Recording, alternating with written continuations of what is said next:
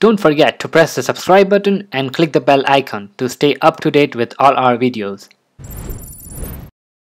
Hello guys, so welcome back to Ramta Education. And in this video or in this series we will be working on the t-shirt designing application. And for this application we will be using Gatsby and React as usual. If you don't know what Gatsby is, it is a framework which is something like the Create React app, but it gives you some additional functionalities. We will be talking about those functionalities in the other video, but yeah, we this was on demand, so I picked up Gatsby because I was suggested by my mentor to use it okay so let me show you what exactly our screen will look like. So this will be our landing page.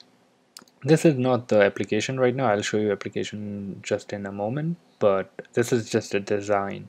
So initially it will be empty. You will have the orders button right here and nothing on the t-shirt and you can pick a theme from here.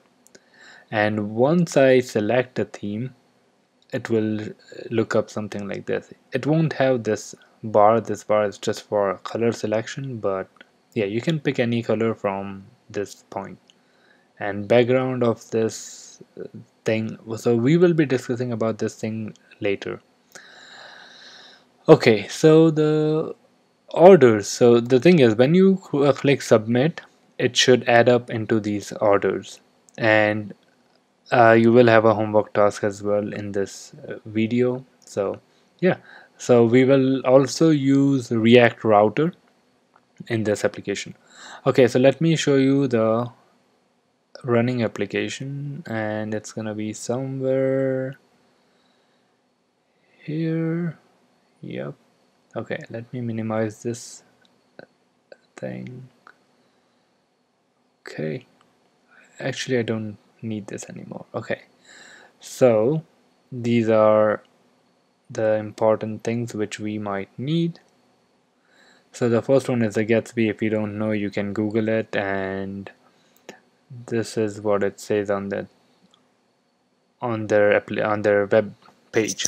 So Gatsby is a free and open source framework based on React that helps developers build blazing fast websites and app. This is not bad. I I'm not a big fan of this because I haven't played around too much. But there is another one which is called Next, which I have never tried as well. But I usually work with Create React app and start like deploying if I need to. But this is another one which is kind of like Gatsby okay.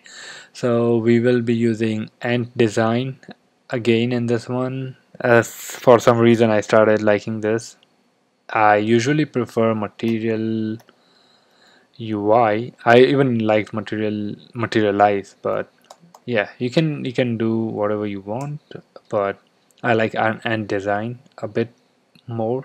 So yeah even this is much better but yeah. And also for the top this font I have used Adobe font. So I'll, I'll show you I'll give you this link. So maybe if you are watching this right now you can type it but it's much better to copy and paste.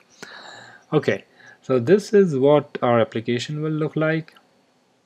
And I prefer this color because it like kind of stands out. So initially it is going to be empty and I have four themes here. First one is something like this second one is this third one is this. The color it doesn't look good because Adidas symbol it was not visible. Okay.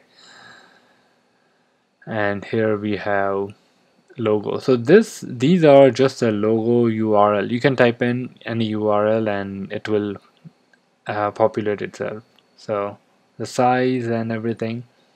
So what happens here is if I type in something let's say hello world and if I order for